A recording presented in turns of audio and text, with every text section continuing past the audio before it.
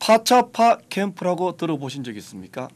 도산 안창호 선생이 리버사이드 지역에 세운 미국 최초의 한인촌입니다. 리버사이드 시의회가 오늘 이민 선조들의 첫 한인촌을 사적지로 지정하는 안건을 만장일치로 채택했습니다. 이재린 기자가 파차파 캠프를 현장 취재했습니다. 기찻길 옆 한 외진 동네.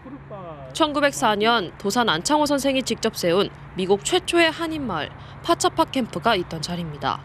생일 잔치 그리고 한국 학교 뭐 어쩌해서 종합적으로 한인 아, 공동체가 형성이 됐고요. 이 지역이 이제 철도가 이렇게 다니는 곳이기 때문에 굉장히 시끄럽고 그 백인들이 살지 않는 지역이었기 때문에 소수계들이 여기서 살 수 있었던 것이죠.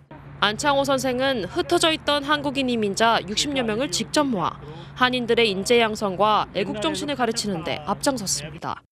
한인들도 도산의 뜻에 따라 인종차별과 모진 수모를 겪으면서도 오렌지 농장에서 힘들게 일을 했고 저축한 돈은 고스란히 독립자금으로 쓰여집니다. 주로 백인들이 안 하는 그런 최저의 어, 어, 직업들을 할 수가 있었던 것이죠. 오렌지 한 개를 따는 것도 애국이다. 그래서 그런 식으로 백인 사회에 우리가 전혀 어, 기죽지 말고 우리 한인들의 모범적인 삶을 보여줘야 된다는 것을 굉장히 강조를 하신 곳이 바로 여기입니다.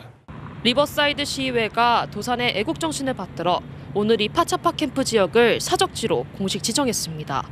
파차파 캠프를 사적지로 지정하는 현판식은 도산 안창호 선생이 리버사이드에 정착한 날짜인 내년 3월 23일 거행될 예정입니다. 한국뿐 아니라 미주 한인 사회의 정신적 지주인 도산 안창호 선생의 애민 정신은 미주 주류 사회에서도 높이 인정받고 있습니다. LA에서 SBS 이재린입니다.